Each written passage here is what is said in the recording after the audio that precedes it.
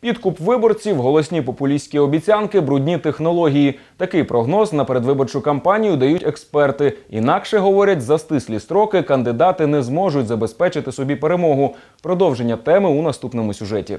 Головна відмінність нинішньої передвиборчої кампанії – стислі сроки проведення, основна інтрига – провладні кандидати. Все інше, говорять експерти, доволі прогнозоване. Єдиний інструмент, який можна застосувати за два місяці виборів, щоб перемогти тих е, кандидатів від опозиції, які лідирували в минулих виборах, це е, організація піраміди підкупу виборців.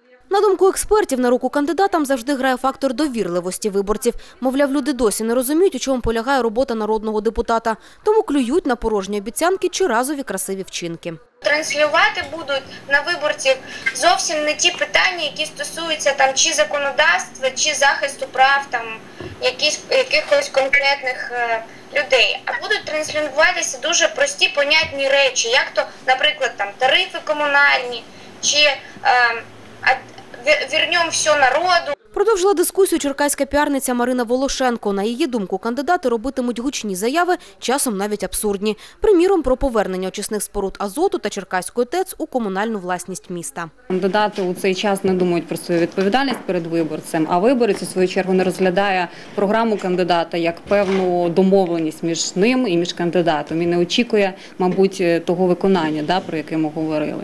Тому дійсно ці заяви є популістськими. Якщо ж говорити про кандидатів, то по 197-му округу, говорять експерти, у Даценка поки що немає рівних конкурентів. А по 194-му залишаються два принципових супротивника – Булатецький і Жуковська. Причому боротьба між ними, сходяться у думці учасники круглого столу, буде не ідеологічна, а особистісна. Марія Гаврилян, Роман Буша, Вікка Новини.